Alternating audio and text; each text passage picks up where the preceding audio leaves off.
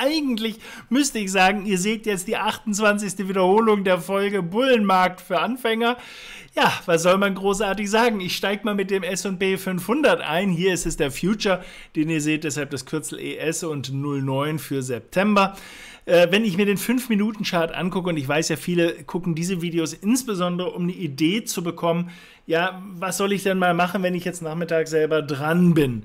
Und äh, jetzt gucken wir uns das mal an, was wir hier als Bewegung haben.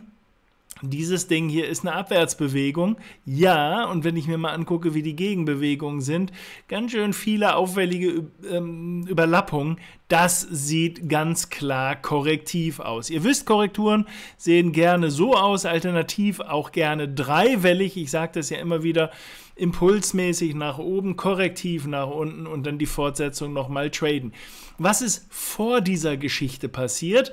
Denn die Gegenrichtung, die starke, nein, eigentlich falsch formuliert, die starke Richtung, das ist doch so ein Fünfweller. Eine erste hoch, dann ein bisschen wackelig runter, nochmal hoch, wackelig runter und nochmal hoch, wobei diese Korrekturen eben nicht überschneiden. Und jetzt gucken wir uns mal an, was ist vor dieser großen Korrektur hier passiert. Wir sind einmal hoch, dann sind wir wackelig runter, dann sind wir hoch, sind wir wackelig runter und nochmal hoch. So, hier sind wir jetzt gerade in der Korrektur. Man kann also sagen, der S&P ist eigentlich mustergültig unterwegs. So viel zum Thema Theorie und Praxis. Also ihr seht, das ist ganz normal. Jetzt hattet ihr gestern zum Beispiel ein sehr schönes äh, Bild ich zeichne euch das jetzt hier nochmal im Großen. Machen wir ganz kurz rückwirkend. Ich weiß, viele sagen, ja, aber rückwirkend bringt mir nichts mehr. Ja, doch, ich möchte, dass eure Augen solche Sachen sofort erkennen. Wenn ihr etwas seht, was so aussieht, dann sollt ihr euch freuen und nicht ärgern, oh, das habe ich jetzt verpasst. Das ist nicht die Aufgabe.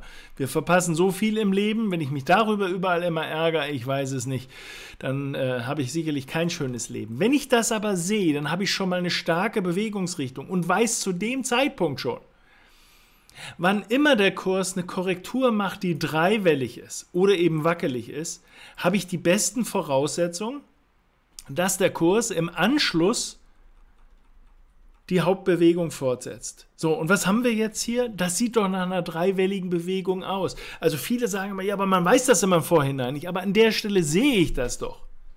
Ja, und wenn der Kurs nach unten wegbricht, ja, dann ist es vielleicht dann nicht dreiwellig. Deshalb ist noch eine Bedingung wichtig, dass ich diese Trigger im Auge behalte. Dann erst wird es relevant. Das heißt, wenn der Kurs nach oben da durchgeht. Das ist sozusagen die Geschichte, wo man sagt, ja, das ist es jetzt. Also ihr seht, das ist jetzt ein sehr theorielastig aus der Praxis von gestern. Also eigentlich ein paar Excellence. Und was ist jetzt meine Erwartungshaltung an dieser Stelle? Also eigentlich an dieser Stelle sage ich, wenn er da jetzt durchgeht, dann ist typisch, dass die, diese Bewegung, die der vorausgegangen ist, der Geschichte, dass die nochmal passiert. Ich habe also eine Zielerwartung, die in dem Fall hier liegt.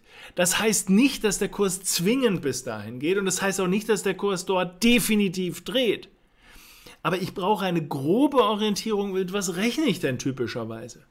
Und das ist typischerweise so diese 1 zu 1 Relation. Wir sagen dazu das Mindestziel. Klar, es kann auch weniger sein, aber dass diese Marke dann äh, im anschließenden Verlauf dann eben erreicht wird. Ihr seht, das hat ja dann auch einigermaßen gut hingehauen und der Kurs ist ja danach, nach einer nächsten Korrektivpause, ihr seht das, dass es ja wieder korrektiv ist hier mit den Gegenbewegungen, nochmal einmal nach oben gelaufen. Vielleicht das auch nochmal kurze Manöverkritik. Ja, aber warum ist das dann nicht nachher wieder so weit? Diese Regel gilt, wenn das die erste ist, dass die zweite ist für die dritte. Aber diese Korrektur ist ja nicht die zweite, sondern die vierte Welle. Also die erste, zweite, dritte, vierte und dann kommt die fünfte. Die wird typischerweise länger als das. Die ist typischerweise so ähnlich lang wie diese hier. Muss nicht genau, aber es ist sehr, sehr häufig. Aber wir sehen, dass wir in Trendrichtung mit Kursüberschneidung unterwegs sind. Stichwort Ending Diagonal, weil korrektiv in Trendrichtung. Trendrichtung war aufwärts, korrektiv. So, also ihr seht, das ist jetzt sehr viel Theorie gewesen, weil pff, Vergangenheit, was erzählt er uns da? Der soll mir jetzt sagen, was ich heute Nachmittag machen soll. Aber genau das ist das. Wenn wir Bewegungen haben, die vorne steil sind, die dann irgendwie möglichst wackelig in die Richtung laufen, sind Fortsetzungen sehr realistisch. Die möglichst wackelig in eine Richtung laufen, sind Fortsetzungen sehr realistisch möglich und mögliche Entry-Trigger sind hier. Ein bisschen ist eine Gefahr, ist das jetzt wirklich die zweite Welle oder ist das hier? Also über die Zielhöhe mache ich mir ein bisschen Sorge. Die kann ich hier in diesem großen Bild nicht ablesen. Außer dass wir wahrscheinlich, wenn wir diese Marke durchstoßen, wer das jetzt nicht lesen kann, die liegt ziemlich genau knapp unter 4200, äh, 4300, also so 7, nee, was ist es? Ja, 98 sage ich jetzt mal so circa. Das sind die heutigen Mittags-Zwischenhochs, die wir hatten. Wenn der Kurs hier durchgeht, würde es mich nicht nur nicht wundern, sondern fände ich sogar sehr wahrscheinlich, dass wir auch hier noch weiterlaufen. 305 jetzt sagt, ja, für 5, 6, 7 Punkte, da mache ich das fast nicht auf. Aber es geht darum, dann habe ich eine Orientierung, was als nächstes typischerweise passiert. Und es kann ja sogar noch mehr werden. Idealerweise kann man jetzt natürlich noch Folgendes machen, dass man sagt, naja, ich muss ja jetzt nicht hier den Einstieg wählen, wenn wir doch jetzt hier so einen steilen Anstieg haben und wieder so was Wackeliges in den nächsten zig Minuten noch nach unten bekommen, dann habe ich doch die Möglichkeit, diese erste Welle nach der zweiten Welle der Korrektur hier wieder anzulegen und dann kann ich dann gegebenenfalls sogar in diesen Zwischenhochlong gehen. Also ihr seht, das wiederholt sich im Kleinen wie im Großen. Das ist also durchaus etwas, was auch im Großen gilt. Hier jetzt im Tageschart beispielsweise habt ihr eine erste Aufwärts, eine dreiwellige Abwärts, dann ist das durchaus nachvollziehbar. Haben wir das gehandelt? Nee, damals war mir das zu hoch, meine Zielerwartung, das hat mir nicht gefallen vom Chance-Risiko-Verhältnis. Ich möchte euch also nicht verheimlichen im Sinne von, guck mal, siehst, der macht ja nur Gewinntrades. Nee, gar nicht. Ja, viele Trades verpasse ich auch, weil ich sage, die, irgendwie gefallen mir die Bedingungen noch nicht. Ich möchte aber, dass ihr die Logik der Märkte, die Systematik der Märkte wiedererkennt. Dann habt ihr zumindest die Chance, dann nicht massiv auf die Short-Seite zu wechseln, wenn er hier hingeht. Denn eins haben wir sicherlich nicht gemacht, an der Stelle einen Short eröffnet, dort, wo typischerweise Long eher typisch ist, man sich vielleicht noch die Frage stellen muss, wie weit läuft das Ganze denn? Also, Voraussetzungen sind nach wie vor gut für die bullische Seite. Ich wiederhole mich da, in den letzten 1000 Videos habe ich das ja immer wiederholt. Aber was soll ich sagen? Solange der Markt eben abwärts nur so doof rumwackelt und aufwärts die Stärke zeigt, ist das eben die Haupttrendrichtung. Gibt es also keine Chance, dass das passiert? Doch, jederzeit. Das ist ja der Grund, warum wir mit Stops arbeiten und das ist der Grund, warum wir die Risiken durch die Positionsgröße beschränken. Lasst euch nicht einlullen von wegen, das kann nicht passieren. Aber soll ich jetzt hier aus der Hüfte geschossen, der dreht da, der dreht da jetzt. Ah ja, jetzt dreht er da. Ja, mit welcher Maßgabe? Lasst euch da nicht einlullen. Lasst euch das Wenn zeigen durch eine starke Abwärtsbewegung, eine schwache Aufwärtsbewegung, dann wäre das ein Short-Einstieg. Und ja, Leider ist dann, wenn wir das Risiko so weit dimensionieren, das das, was wir vielleicht von dieser Aufwärtsbewegung wieder hergeben, es sei denn, ihr zieht eure Stops enger nach, zum Beispiel mit irgendwelcher Nachziehlogiken wie Parabolik ist immer gern gesehen beispielsweise. Ist jetzt keine Empfehlung zwingend, aber ist eine Empfehlung, sich das anzugucken. Wir benutzen den gerne mal der ist längst nicht immer optimal. Also nicht, dass oh, der, der klappt ja immer super. Nee, gar nicht. Aber er klappt meistens ganz okay. Und das ist das, womit wir Händler arbeiten. Wenn der nicht schlecht ist, ist es meistens schon ausreichend, dass man sagt, naja gut, äh, es reicht für ein Plus. Ja, also bitte kommt da weg von, der, von dem Gedanken, das muss immer alles perfekt sein an der Börse, äh, weil ich möchte den höchsten Gewinn, den niedrigsten Verlust. Hm, ja, wünschen geht immer natürlich. Äh, Nasdaq sieht gar nicht so doll aus. Ihr seht, äh, dass wir hier dieses, äh, diese relativ starke Abwärtsbewegung haben und zugegeben, da seht ihr, aber das war doch auch wackelig. Wäre da nicht hier jemand auf die Idee gekommen, vielleicht sogar Long zu gehen? Vielleicht schon. Also die Grundidee war hier für Long, aber der Stop lag ja dann schon hier.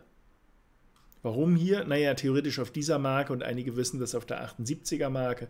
Also da. Das heißt, mein Risiko war in dieser Größe. Das heißt, man leidet dann nicht unter Umständen darum, selbst wenn man hier mal einen Fehleinstieg hat, äh, weil man diese Bewegung gar nicht mehr mitmacht. Denn die ist ja nun mit nichts zu begründen. Mit welcher Begründung, wenn ich jetzt behaupte, das ist vielleicht eine sehr schöne Übung jetzt auch nochmal, auf Nasdaq ganz kurz zumindest mal das angesprochen, wenn ich für mich behaupte, wenn er da durchgeht, Das ist korrektiv, dann geht es nach oben weiter. Zugegeben ist nicht die erste Korrektur, das heißt, irgendwo sind meine Ziele nur hier. Deshalb ist das so ein fraglicher Trade, ob man den unbedingt da eingehen muss. Aber nehmen wir mal an, äh, man macht diesen Trade, ja, dann will ich dann hier drunter nicht mehr. Denn ich will ja, dass er wieder in der Aufwärtsbewegung ist, da kann ich keine fallenden Tiefs mehr brauchen. Das heißt, mein Stop liegt definitiv hier. Oder die 78er Marke. Viele von euch kennen das, dass wir die 78er da gerne nehmen. So, und dann wissen wir, an der Stelle hier irgendwo werden wir dann hier ausgestoppt und oh, hat nicht sollen sein, meine Güte. Ja, also ihr seht, das ist nicht, dass das immer funktioniert. Ein kleiner Tipp nochmal, die etwas professioneller unterwegs sind. Bei so einer Zielerwartung hier einsteigen und Zielerwartung irgendwo da oben, ist das kein so ein guter Einstieg. Dann finde ich es besser, wenn wir sowas haben, wenn der Kurs hier wackelig runterkommt, hier zu triggern. Und das ist eben nicht wackelig, sondern relativ steil runter. Also man konnte sich den Long-Einstieg sogar sparen. Aber ich möchte, dass ihr eben auch seht, wohin das führt, wenn es nicht in die richtige Richtung geht. Ja, also, dass äh, ihr das versteht, ja, okay, das ist dann doof, aber nicht so schlimm, weil die Stops eben relativ äh, zeitnah uns sagen, das ist die falsche Richtung. Nasdaq, muss ich sagen, finde ich den doofsten der Indizes, äh, weil der äh, schon die ganze Zeit irgendwie immer so komische Avancen macht auf die Abwärtsseite. Klar, das ist häufig dreiwellig, hier seht ihr das auch. Und damit zeigt er dann, naja, so richtig abwärts ist es nicht. Aber wenn ihr euch erinnert an die letzten Tage, ich muss sagen, ich finde den am unübersichtlichsten. Ich weiß, viele finden den besonders attraktiv, weil ganz tolle Titel da mit drin sind. Äh, ich muss sagen, ich finde das eher abschreckend, wenn der Kurs äh, dauernd solche vielen Überschneidungen hier hat. Das ist äh, häufig besser beim, äh, beim SP und äh, beim Dow Jones hier jetzt beispielsweise, der Dow Jones YM, der Future da drauf als Bewegung. Auch hier gilt nach wie vor, noch ist es die Aufwärtsrichtung. Hier finde ich allerdings einstiegsmäßig im Moment keinen sinnvollen Einstieg. Da würde ich mich sehr zurückhalten. Das ist nicht so mein Ding.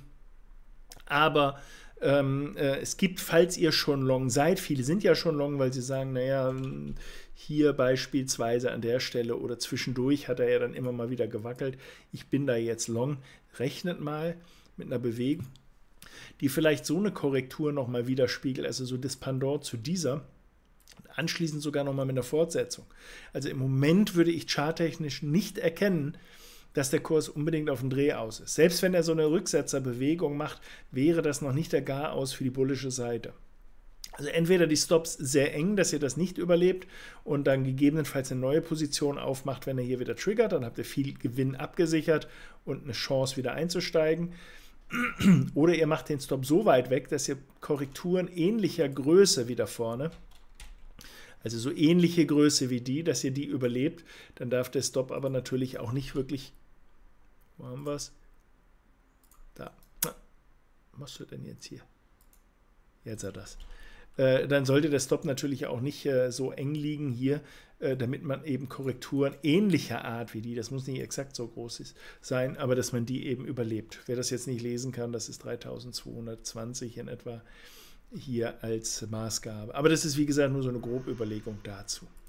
Dann gucken wir uns noch den DAX an, abschließend. Wie sieht der aus? Auch der ist nach wie vor stark auf der Oberseite. Ähm, ich warte immer noch auf diesen Rücksetzer. Diese Zeichnung die ist allerdings obsolet, weil der Kurs inzwischen schon zu viel weitergelaufen ist. Also insofern, ihr seht das, er hatte Widerstandsmöglichkeiten, Angebote nicht genutzt bisher, war dann eher wieder dreiwellig nach unten gelaufen. Jetzt kommen wir so in die nächste Zone, wo wir jetzt äh, Widerstände unterwegs haben. Das sind die heutigen Hochs mehr oder weniger, 13.950 in etwa. Manch einer sagt noch die 14.000er Marke. Ja, touché. Das ist jetzt nicht die Ansage, dass der Kurs da dreht, sondern es ist die Ansage, dass einige Marktteilnehmer hier genauer drauf gucken werden, ob der Kurs nicht endlich mal in eine Korrektur hier reinkommt und dann kann man ja immer noch wieder auf die Long-Seite gehen. Also ich bin nach wie vor eher bullisch eingestellt, spricht sehr viel dafür, dass der Markt immer noch will nach oben. Äh, zu shorten finde ich im Moment nicht sinnvoll. Wer früh auf die Short-Seite wechseln will, sollte sich das auf jeden Fall zeigen lassen durch heftige Bewegungen runter und wackelige nach oben. Und das haben wir im Moment in der Form nicht wirklich oder eben nur dreiwellig, also sprich ähm, mit ja, vorläufigen Gewinnmitnahmen bzw. Stop nachziehen, wenn der Kurs da ist, dass man da eben nicht mehr ins Minus kommt. Ich hoffe, dass euch das ein bisschen weiterhilft. Äh, jetzt einzusteigen, wenn dann auf den kurzen Ebenen. Den SP fand ich dafür nicht so schlecht. Die anderen, muss ich sagen, finde ich dann noch ein bisschen übersichtlich. Ich drücke euch auf jeden Fall die Daumen, dass ihr auf der richtigen Seite seid. Bis zum nächsten Beitrag. Euch alles Gute.